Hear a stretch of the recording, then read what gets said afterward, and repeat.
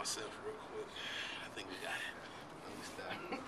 What's going on, everyone? It's Cutty Boi, Mr. NASCAR, down here at Morrisville, North Carolina at Revolution Racing with the Miss Beautiful Jessica, one of the stars from Changing Lanes.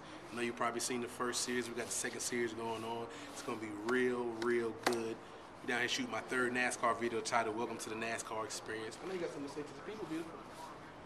Hi, welcome to NASCAR. And that's all, folks. Are we doing a